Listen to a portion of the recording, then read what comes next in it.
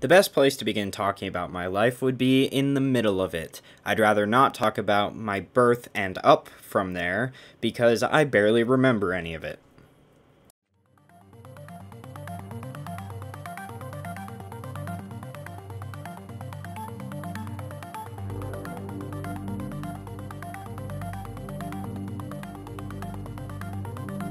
For 6th to 8th grade, I attended a school called Mackintosh Academy. This was a small private school located out in Littleton, and I spent three years there studying and learning. There, I had some awesome adventures, such as going to New Orleans and helping restore after Hurricane Katrina. I had a really good time at this school, and when graduation came, I moved over to East High School.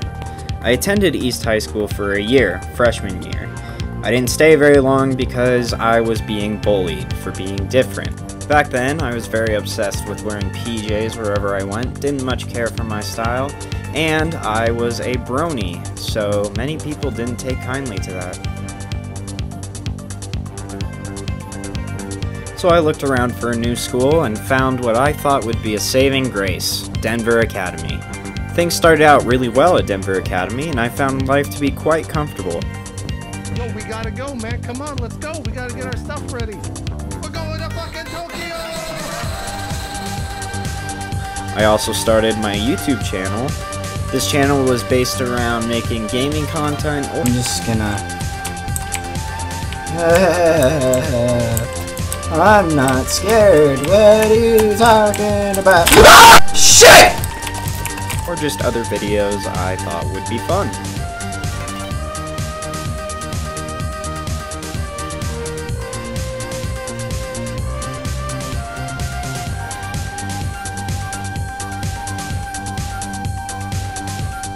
What I didn't know was that Denver Academy was actually going to be one of the toughest challenges I've ever faced in my entire life.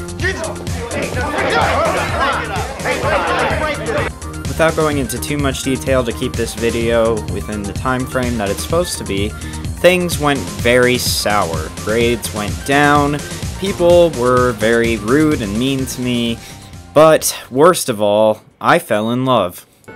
One, one. Oh, okay. Alright, fine then. This... Okay, but this is my favorite part of the game. oh, oh, oh, wait!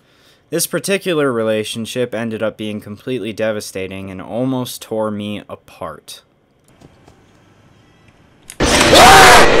If it weren't for my best friend Austin and my other friends around me, I wouldn't have gotten over this problem. Is this where We're if you die, you stay permanently No, dead? no, no, no. We have to throw the ball into the little thingy. That's all you need to know.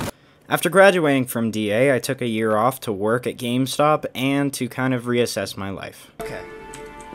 Oh, God. Oh, hey, a bubble. Smoke. To see smoke in your dream indicated some sort of trouble that is entering your life. You're suffering from confusion and anxiety. In particular, if the smoke is black, then it could mean that you are not seeing some situation or problem clearly. To overcome or get past black smoke shows you are maturing and taking charge of your life. After figuring things out, I applied to CU Denver and was accepted. In preparation for the semester at CU, I started collecting Blu-rays, watching all kinds of movies, and trying to make my own videos look good.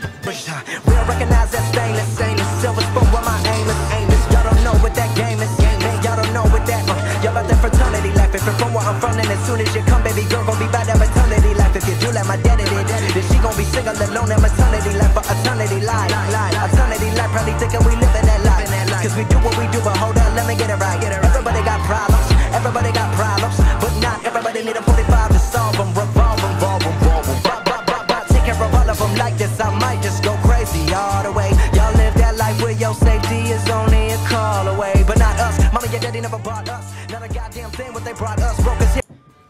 And here I am now, recording this video. Bye!